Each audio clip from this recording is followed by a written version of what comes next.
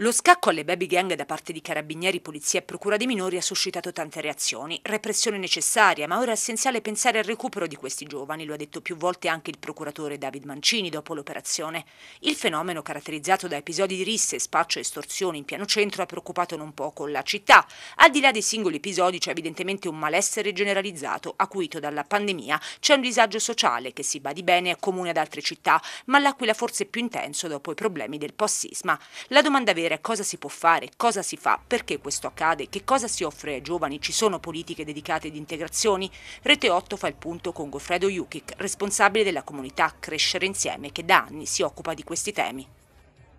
La nostra è una città che in questo momento sta vivendo alcune criticità rispetto, rispetto a queste tematiche, però non dobbiamo dimenticare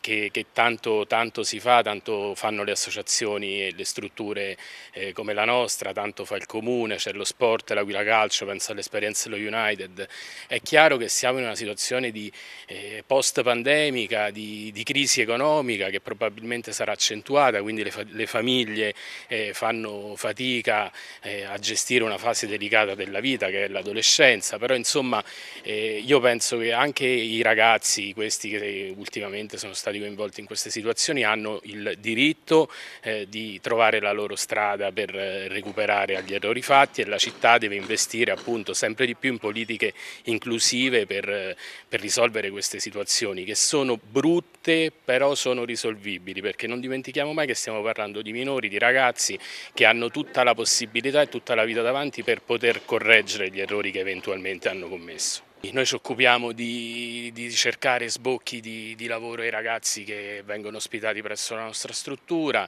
Eh, diciamo che questa città, pur essendo un territorio economicamente, insomma, non siamo a Milano, un territorio economicamente depresso, ma eh, abbiamo tante aziende che, che, offrono lavoro, tanti imprenditori comunque disponibili ad offrire ai ragazzi una possibilità. Quindi diciamo che eh, c'è eh, luce in fondo magari al tunnel a questa situazione che in questo momento può sembrare che probabilmente sicuramente è preoccupante, ma ci sono tanti soggetti che si occupano di eh, gestire questa situazione, penso al Comune dell'Aquila, questa è una città inclusiva, tante sono le politiche fatte dal settore della, alle politiche sociali a favore dei giovani, tanti sono gli investimenti, c'è anche tanto di buono, tanto lavoro, tanto volontariato eh, che si si fa tutti i giorni da parte nostra e di altri,